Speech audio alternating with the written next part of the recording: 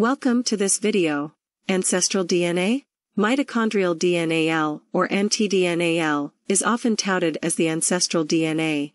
The supposed first woman that carried this supposed ancestral DNA is by some called mitochondrial Eve or African Eve. I insist to mention early on that the best proof of this mitochondrial DNAL 1. being the DNA of the first woman and 2. being African, would have been to have found a fossil of this mitochondrial Eve, or at least of some early down the line descendant of this mitochondrial Eve presenting this mtDNAL. However no such fossil was ever found. For now 1 and 2 are only suppositions that are used together to support the hypothesis that Africans are the ancestors of all humans. In other words, there is no proof that the supposed ancestral DNA 1. really represents that of the origin of all humans and 2. that it originated in Africa. I understand this assumption that it 1. is the ancestral DNA of all humans and 2. that it originated in Africa.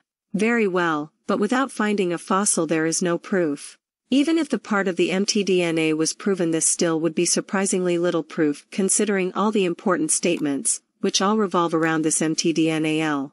Further there is this serious paradigm in disfavor of the hypothesis that Africans are the ancestors of all humans, the fact that Africans are the ones that carry the least Neanderthal DNA of all humans that the African DNA is supposed to have been the ancestor of. Further, surprisingly none of the ancestral markers confirms the above two suppositions supported by consensus. For reasons that I do not understand, consensus and the media do not seem to mention the ancestral markers that all, or most of them, point to the Americas and the Amerindians as the origin of all humans. Instead of seeing this lack of Neanderthal DNA as a paradigm, instead of recognizing we negated the most important scientific markers, consensus etc. has chosen to turn some of these paradigms into some kind of victory for humans, a kind of proof of superiority against other not well-defined groups of humans and animals.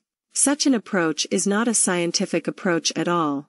Such an approach could be seen by future generation as very poor criticism in science, and even as a kind of scientific bribing. If you all close your eyes for several clear paradigms, you can, go on to, call and declare yourselves the smartest and fittest of all. Us being the smartest or the fittest is not exactly what. 1. The increase of carbon dioxide in the atmosphere, that we cannot get under control and not even know to fully explain, and or.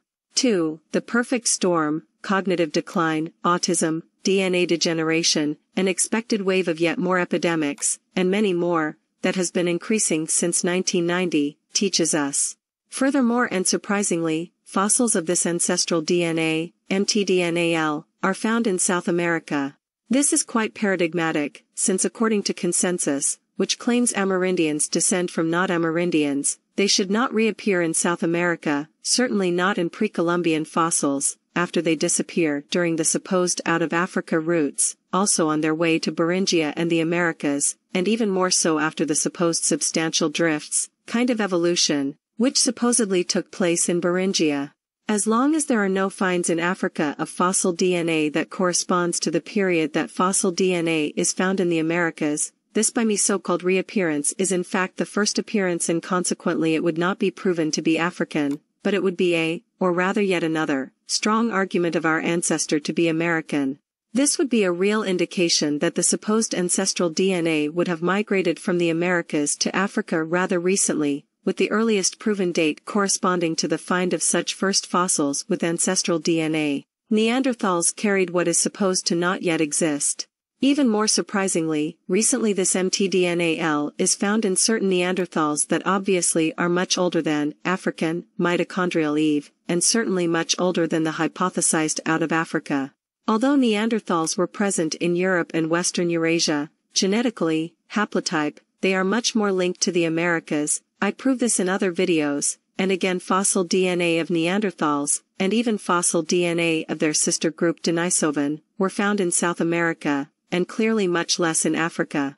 Not so surprising, this for consensus inconvenient, but for all humans extremely important discovery did not, yet, got much attention from consensus and the media.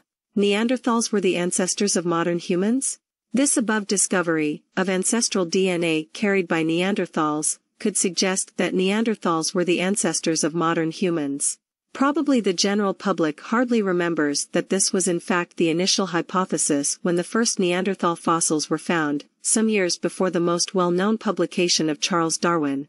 DNA and genetics were still unknown at that time. Later, genetics proved that modern humans cannot descend from Neanderthals, and I fully agree with this.